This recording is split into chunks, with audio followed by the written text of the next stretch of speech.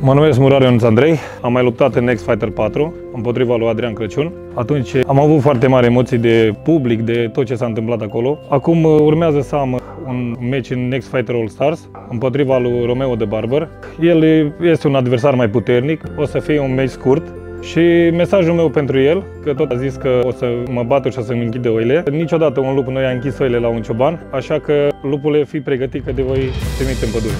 De când am intrat în RXF, viața mea s-a schimbat. Am foarte mulți susținători, mă susține foarte mult și familia mea și promit că nu o să-i dezamăgesc.